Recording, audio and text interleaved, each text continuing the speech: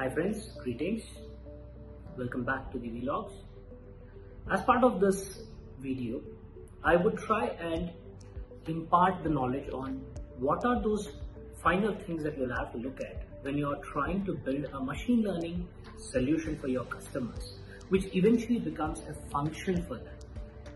Now, you might be developing an awesome machine learning solution for your customers. But what is the use if your customers are not able to use it? So you're probably thinking about, hey Sharat, we know how to deploy the algorithm. But when you're talking about this deployment, you also have to look into the maintenance aspect as well. This is why we have CRISP MLQ methodology originated. This CRISP MLQ methodology has been upgraded from the CRISP MLQ